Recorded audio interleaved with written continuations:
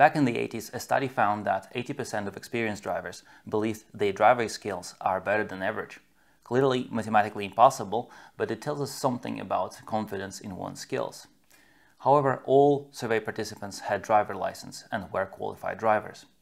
Now, when it comes to facade industry, uh, if you ask an industry professional if they are qualified for their role, almost all would confidently say yes. Yes, I've been doing this for many years and I know what I'm doing. And in most cases, they would be right. They have years of experience to back it up. But here's a challenge. Uh, very few can point to anything other than their CV to actually prove the competence. The Building Safety Act is now challenging that, demanding that everyone in the industry from design directors and draftspersons to sales professionals, be able to demonstrate their competence. And the issue is that formal qualifications don't exist for many of these roles. If you're a sales director or a material manufacturer or a facade estimator, there isn't a specific qualification you can point to. And it is also true that we lack standardized framework for evaluating skills and knowledge, and there is no formal benchmark for what industry professionals should know or be able to do in each role.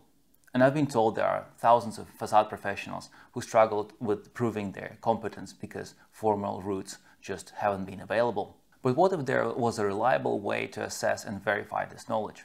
Today, we'll talk about Joint Competence Initiative and Baseline Competency Assessment. The industry fully recognizes the immense challenge um, brought about by the Building Safety Act in response, uh, leading main contractors, together with key associations, uh, specialist contractors, insurers, and material suppliers, came together to establish the Joint Competence Initiative, or JCI. The initiative was created to tackle one of the Act's core demands, developing a structured framework that defines clear levels of competence across varieties of roles within facade industry. A white paper was drafted to outline the skills, knowledge, and qualifications levels required across a range of industry roles, from sales personnel to facade consultants and up, up to directors of specialist facade contractors. This document provides a comprehensive view of what is expected at each level. Later in the video, I'll go through uh, in more detail about the roles and levels within Bloom's taxonomy as they relate to their framework. The white paper also lists qualifications and courses available at the time. But there is an issue. Uh, the required qualifications levels for key industry roles aren't widely offered. And it's even more complicated. There is no framework to create qualifications for many common roles like estimating, design management, or sales ethics. Existing qualifications like those in quantity surveying often fall short for facade specialist contractors. Many of you have seen bills of quantities with curtain wall priced as in square meters rather than in screen types, or design and engineering is derived as a percentage of project value rather than uh, relative to the complexity of the project, or even worse, design is priced in pounds per square meters. You may as well price engineering work in per kilograms of facade. The industry largely relies on system manufacturers for training with much of the technical education coming through free CPDs or continuing professional development talks, often with the free lunch included. Unsurprisingly, these presentations often feel like uh, sales pitches. While CPDs can offer valuable information, they don't ensure participants truly listened or understood the material. There is very often no assessment at the end. Manufacturer CPDs focus primarily on the technical aspects of the materials they are selling, there is a noticeable lack of courses and qualifications uh, for commercial roles, including estimating, design management. As a result, there is no structured way to assess their competence. For most professionals, becoming a facade engineer is a matter of hands-on experience, doing the job a lot, but they often lack the formal credentials to verify their expertise. To address this, JCI approached IAST to develop a solution IAST started with existing courses which already included assignments and multiple choice tests as a foundation for the baseline competency assessment.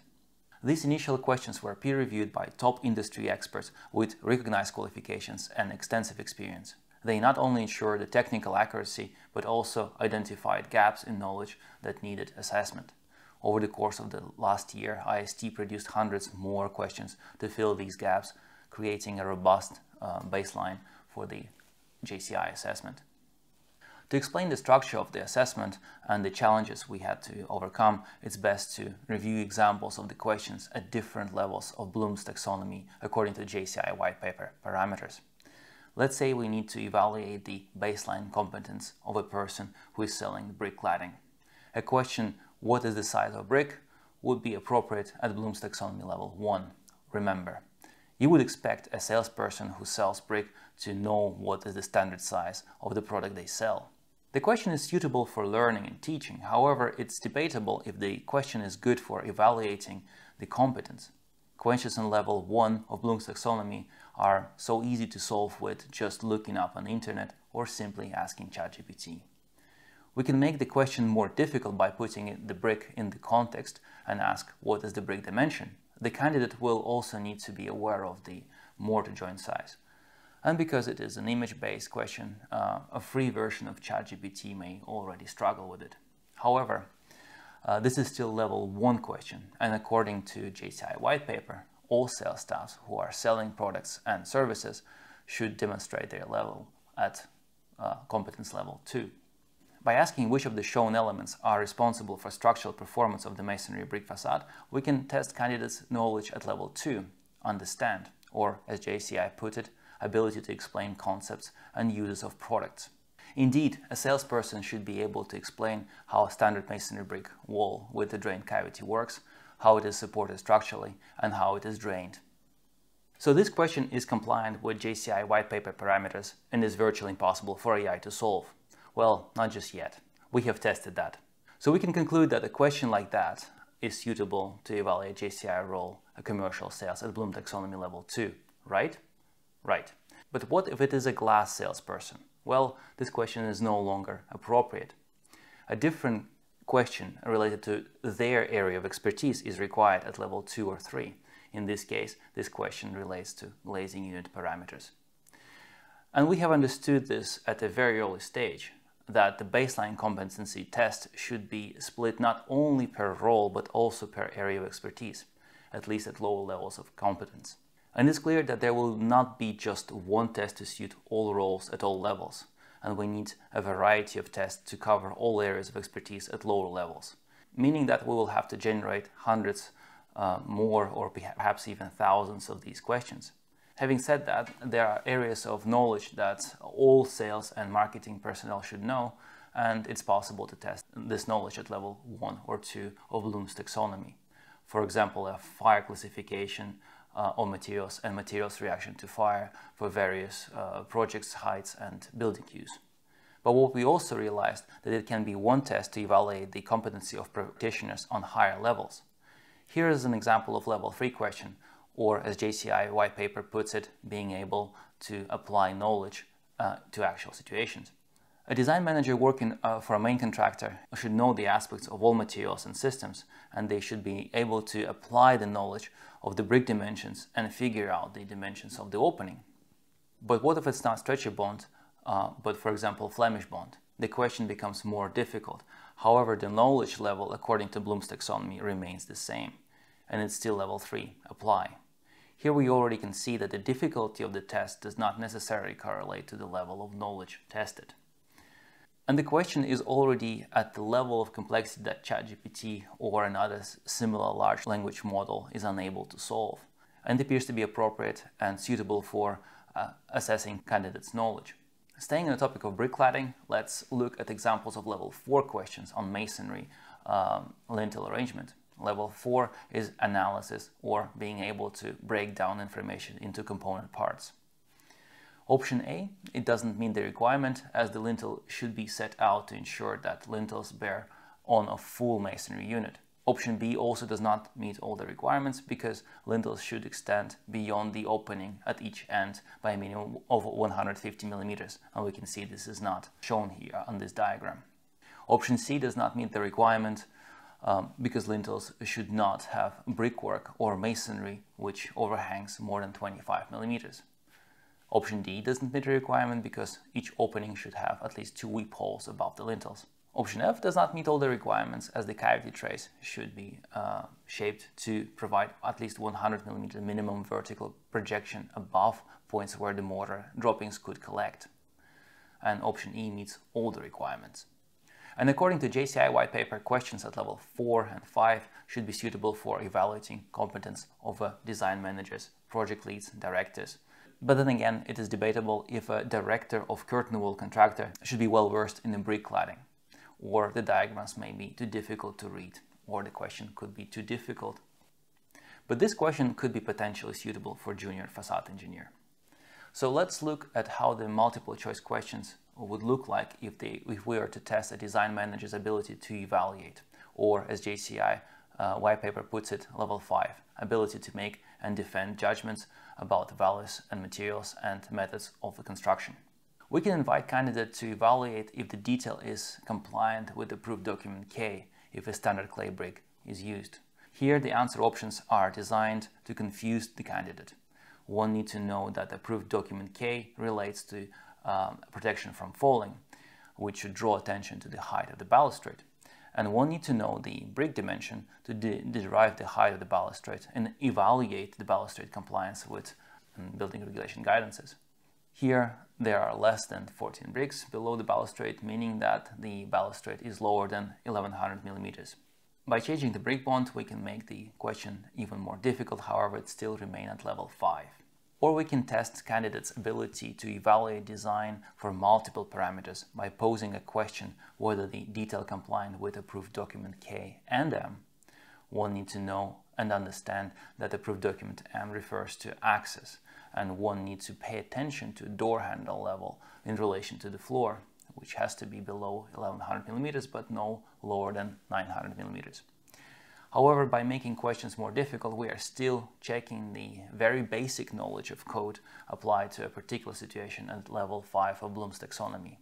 And we can, of course, make the question even more difficult by playing with the brick bond while still checking the applicable knowledge of the code. The baseline competency assessment in form of multiple choice test cannot uh, test at level 6 of Bloom taxonomy because JCI lists level 6 uh, as create research and development of methodologies and products. And this is something that IAST uh, assess via assignments where we ask candidates to produce marked up drawings or diagrams. For example, um, marking up a, a, location of a brick ties in certain bonds or by uh, creating a markup of the locations of cavity barriers behind rainscreen cladding. Well, we only can do it during our courses and not during the uh, multiple choice assessment. So baseline competence assessment in form of a multiple choice test may not be suitable for facade engineers or fire engineers dealing with facades. However, it should be suitable a tool for assessing competence of junior facade engineers. As you can see that the complexity of the questions and the level of the knowledge according to Bloom's taxonomy are not correlating directly. We are designing baseline competency assessment to validate specific knowledge and prior learning and not IQ or ability to reason. To ensure the fairness and appropriateness, we'll be conducting a trial assessment with the selected industry professionals. This process will help us to uh, fine-tune the questions to align with the required um, competence levels without creating unnecessary barriers. Our vision is to make this assessment available globally, accessible to all uh, professionals involved in EKA projects. For accessibility, we are uh, working on delivering the assessment online with proctoring software to verify the candidate's identity. Candidates will have a set time to answer each question, just enough to analyze and respond, but not enough to consult with external tools. Each question will also include visual elements that requires focused analysis, further reinforcing the uh, integrity of the assessment and making sure that um, AI tools are not helpful in passing the test. One of the main goals is to balance rigor with accessibility. We aim to create a tool that allows professionals to validate their skills without making it overly complex or intimidating. We want this to be a practical, supportive tool for anyone seeking to demonstrate their experience and expertise. We aim for a fair, accessible and practical tool that enables professionals to prove and verify their knowledge and prior learning, helping them to understand where they are in their professional journey. After successful trials, we'll plan to make this assessment publicly available. Next, we will develop additional lower-level assessments tailored to specific roles and areas such as sales management and estimating. with a focus on, on content and materials like precast concrete, masonry, rain screen, and glass. We are also committed to keeping the uh, assessment cost effective, uh, recognizing the importance of making this accessible for as many professionals as possible. We are infinitely grateful to JCI peer review group who have invested a tremendous amount of their volunteer time in early mornings uh, and uh, late evenings and weekends and holidays to review the and refine and help us to create more more than 1000 questions um, developed for this tool Finally, we are eager to hear your thoughts. We invite the wider industry to provide feedback and participate in trial assessment. If you would like to volunteer and help us to refine this tool, please reach out to us. After over a year of hard work, uh, we're excited for the industry to use this assessment and uh, we believe it will be an, an invaluable uh, resource for professionals to demonstrate their competence and validate their prior learning.